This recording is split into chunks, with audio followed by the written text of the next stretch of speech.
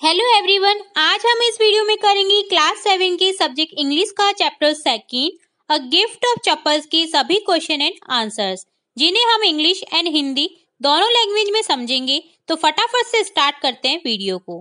सबसे पहले देखेंगे पार्ट फ़र्स्ट के कॉम्प्रिहेंशन चेक के क्वेश्चन क्वेश्चन फ़र्स्ट है what is the secret that Meena share with Mridu in the backyard वह क्या रहस्य था जो मीना ने मृदु के साथ शेयर किया था। आंसर है, Meena shares the secret of the kitty that they have found in the front of their house and have kept in their backyard Meena ने बिल्ली के बच्चे के रहस्य को शेयर किया, जो उन्हें अपने घर के सामने मिला था और जिसे उन्होंने अपने पिछले आँगन में रखा था। नेक्स्ट क्वेश्चन नंबर सेकंड है how does Ravi get milk for the kitty Ravi को बिल्ली के बच्चे के लिए दूध कैसे मिलता है? आंसर देखते हैं। Ravi brings milk from the kitchen saying that he was feeling hungry he even drinks most of it to prove पाती that he was indeed hungry he then brings the tumbler in the backyard and empties it in the coconut shell Ravi रसोई से दूध लाते हुए कहता है कि उसे भूख लग रही थी यहाँ तक कि वह पाती को यह साबित करने के लिए उसे पीता भी है कि वह वास्तव में भूखा था। फिर वह पिछवाड़े में टम्बलर लाता है और उसे नारियल के खोल में खाली करता है। नेक्स्ट क्वेश्चन नंबर थर्ड देखते हैं। Who does he say the kitty ancestors are do you believe him बिल्ली के पूर्वजों के बारे में कौन कहता है? क्या आप उस पर बिलीव करते हैं? आंसर है Ravi said that the kitty ancestors were the loin of the Pallava kings. The Mahabalipuram Rishi cat, which has the emblem of the Pallav dynasty. No, I don't believe his story.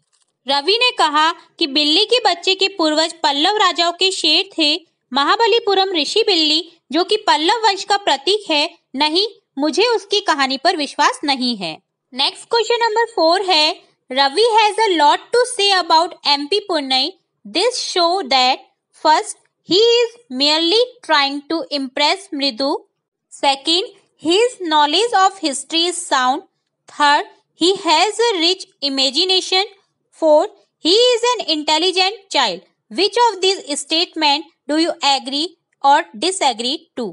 Ravi को MP Pune के बारे में बहुत कुछ कहना है यह कौन सा वाक्य दर्शाता है फ़र्स्ट वह मृदु को प्रभावित करने की कोशिश कर रहा है सेकंड उसकी नॉलेज इतिहास के बारे में अच्छी है।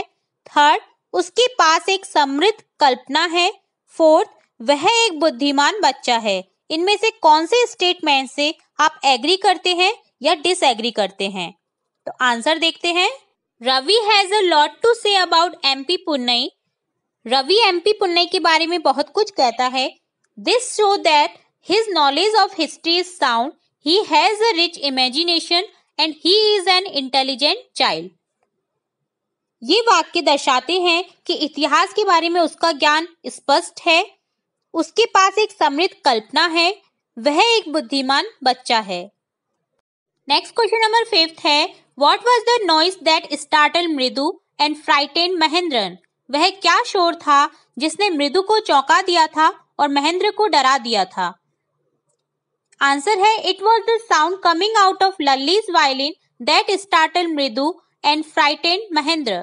ये लल्ली के वायलिन से निकलने वाली आवाज़ थी, जिसने मृदु और महेंद्र को डरा दिया था। अब देखते हैं इस चैप्टर के पार्ट सेकंड के कॉम्प्रिहेंशन चेक के क्वेश्चंस क्वेश्चन फ़र्स्ट है the music master is making lovely music read aloud the sentence in the text that express this idea संगीत गुरु संगीत को मधुर बना रहे हैं, इस विचार को व्यक्त करने वाले वाक्य को ज़ोर से पढ़े। आंसर है, the music master notes seem to float up and settle perfectly into the visible tracks of the melody. संगीत गुरु के नोट्स बिल्कुल एक्यूरेट राग के साथ दृश्यमान ट्रैक में पूरी तरह से अच्छे से लग रहे थे। नेक्स्ट क्वेश्चन नंबर सेकंड है, had the beggar come to Rukmini's house for the first time give reason for your answer क्या भिकारी रुकमणी के घर पे पहली बार आया था? अपने जवाब के लिए कारण दें। आंसर है no the beggar has been coming to Rukmini's house for last one week the beggar himself confirms this saying that he has survived for a week because of Rukmani's kindness.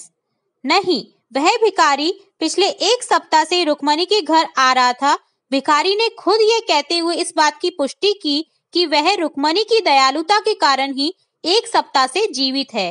Next question number third है a sharp V shape line had formed between her eyebrows what does it suggest to you about Rukmini's mood एक तीव्र we आकार की रेखा उसकी बोहों के बीच बनी हुई थी। यह आपको रुक्मणी की मूड के बारे में क्या सुझाव देता है? आंसर है the V shape line suggest that Rukmini was very angry and was about to lose her temper on the children V आकार की रेखा बताती है कि रुक्मणी बहुत गुस्से में थी और बच्चों पर अपना आपा खो बैठी थी।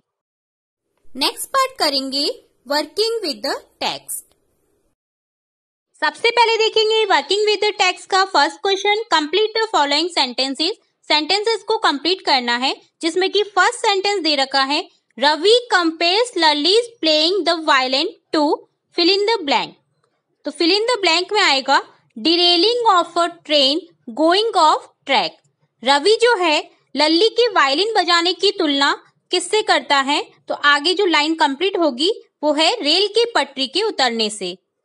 नेक्स्ट सेकंड सेंटेंस है trying to hide beneath the tray of chillies Mahendran blank blank में आएगा tip a few chillies over himself अर्थ देखते हैं पूरी लाइन का। मिर्च की ट्रे के नीचे छिपने की कोशिश में महेंद्रन के ऊपर कुछ मिर्च गिर जाती हैं। नेक्स्ट थर्ड सेंटेंस है। The teacher played a few notes on his violin and Lalli blank blank में आएगा stumble behind him on her violin शिक्षक ने अपनी वायलिन पर कुछ नोट्स चलाए और लल्ली उसकी वायलिन पर उनसे पीछे रह गई। नेक्स्ट फोर सेंटेंस है the beggar said that the kind ladies of the household blank blank में आएगा have been very generous and help him survive for a week भिकारी ने कहा कि घर की दयालु महिलाएँ बहुत उदार हैं और उसे एक सप्ताह से जीवित रहने में उससे मदद मिली है। फिफ्थ सेंटेंस है after the lesson was over the music teacher asked Lalli if blank blank में आएगा. She had seen his chappals lesson समाप्त होने के बाद संगीत शिक्षक ने लल्ली से पूछा कि क्या उसने उनके चप्पल देखे हैं? वर्किंग विद द टेक्स्ट का नेक्स्ट सेकंड क्वेश्चन है.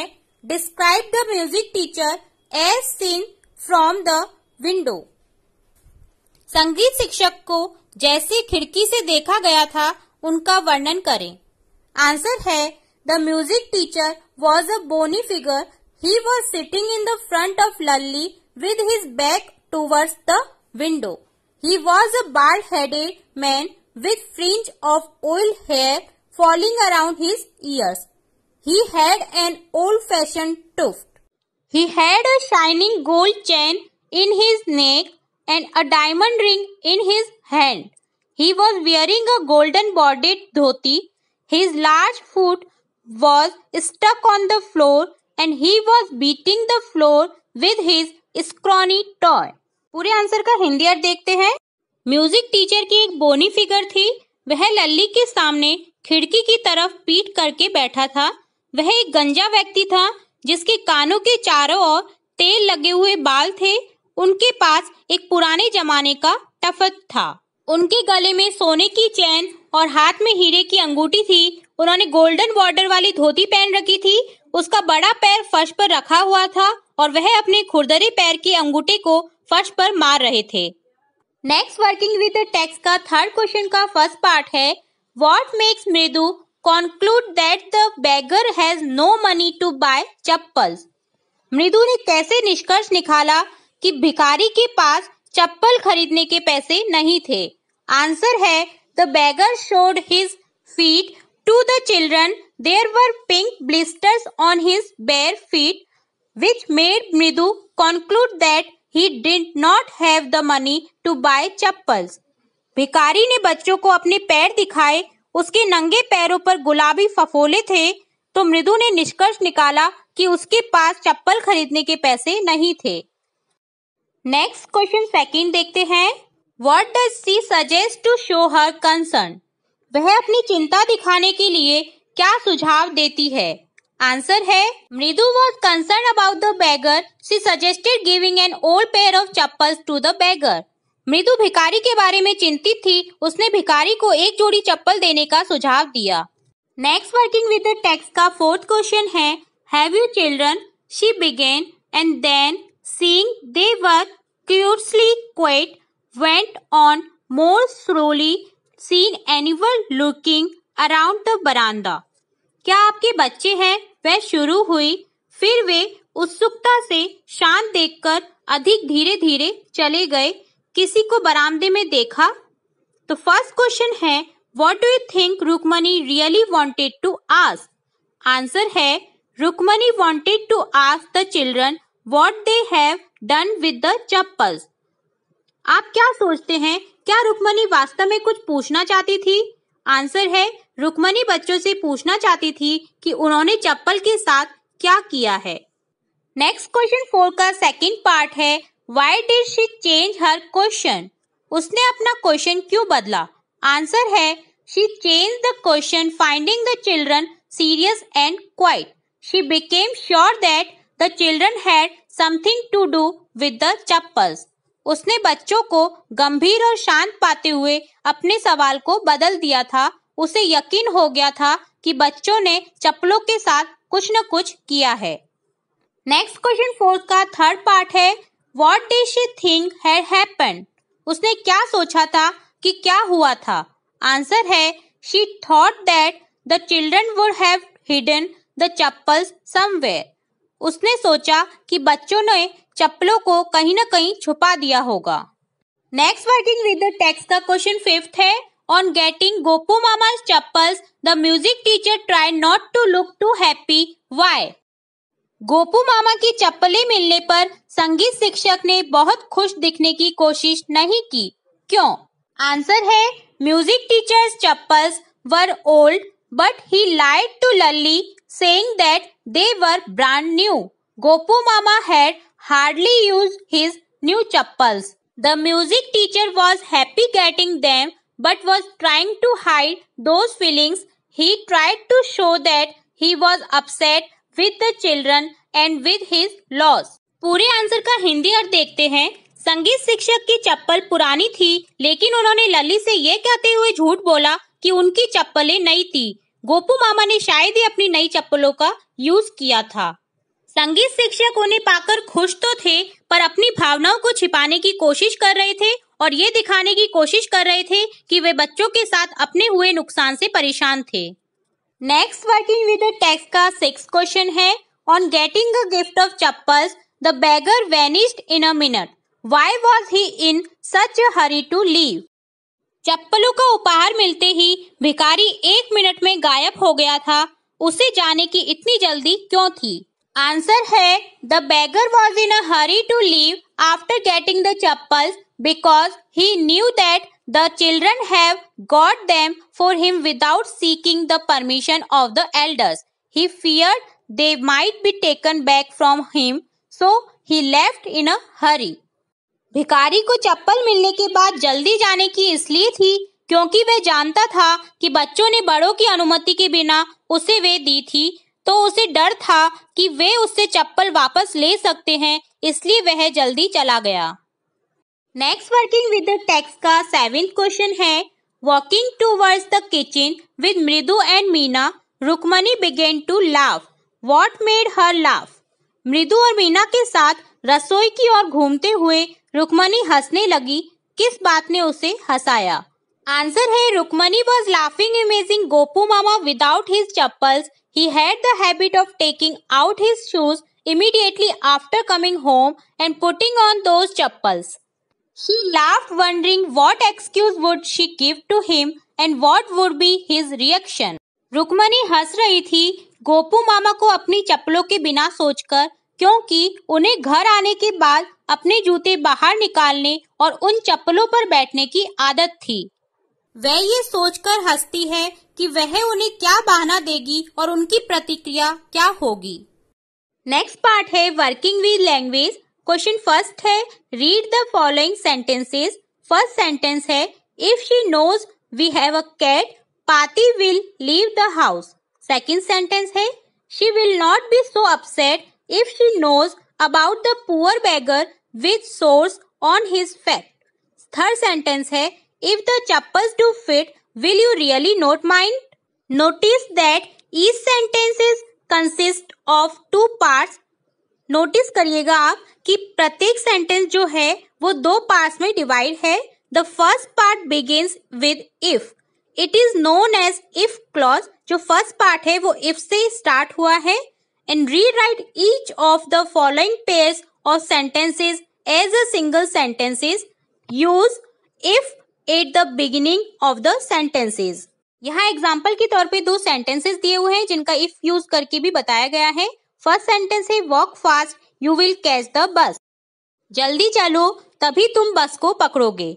तो इसका इफ़ यूज़ करके बनाया है sentence if you walk fast you will catch the bus यदि तुम जल्दी चलोगे, तुम बस को जल्दी पकड़ोगे। सेकेंड सेंटेंस है don't speed on the road you will be found road पर थूको नहीं, यानी तो तुम्हारा फाइन लग जाएगा। तो इसका इफ़ यूज़ करके बनाएँगे sentence if you speed on the road you will be fine यदि तुम रोड पर थूकोगे तो तुम्हें फाइन लगेगा। अब देखते हैं क्वेश्चन फ़र्स्ट सेंटेंस है don't tire yourself now you will not be able to work in the evening तो इसका इफ़ यूज़ करके हम सेंटेंस बनाएँगे you tire yourself now you will not be able to work in the evening second sentence है study regularly you will do well in the examination if use करके हम sentence बनाएँगे if you study regularly you will do well in the examination next आगे third sentence देखते हैं. Work hard you will pass the examination in the first division if use करेंगे if you work hard you will pass the examination in the first division fourth sentence है be polite to people they will also polite to you if use करेंगे if you are polite to people they will be polite to you fifth sentence है don't tease the dog it will bite you if use करेंगे if you tease the dog it will bite you Next working with language में second question है. Fill in the blanks in the following paragraph paragraph दे रखा है, जिनमें हमें कुछ blanks दे रखे हैं, जिन्हें हमें फिल करना है। पैराग्राफ है today is Sunday I am wondering whether I should stay at home और go out if I blank go दे रखा है तो ब्लैंक में क्या आएगा?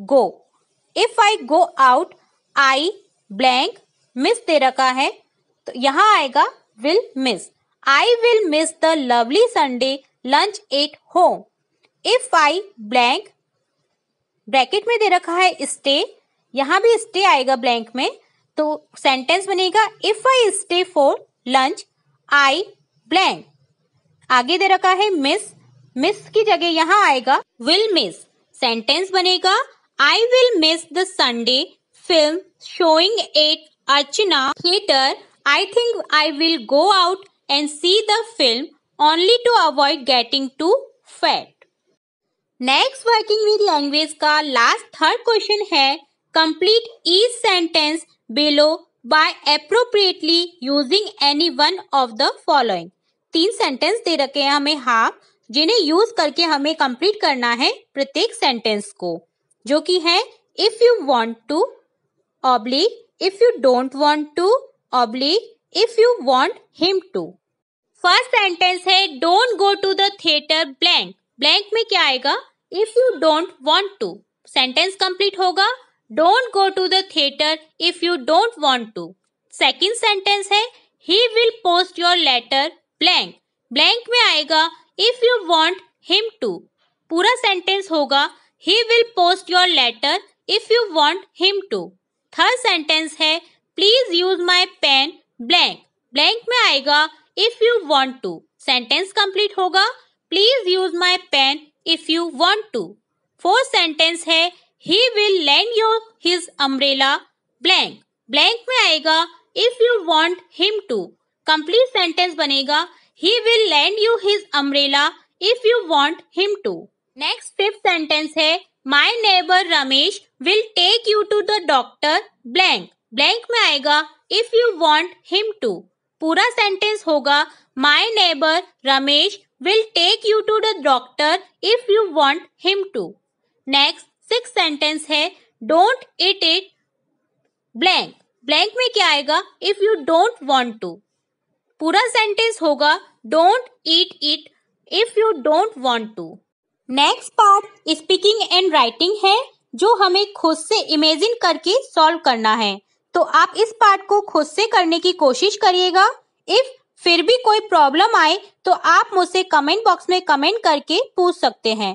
तो अब हम फिर मिलेंगे इससे आगे नेक्स्ट चैप्टर के वीडियो के साथ।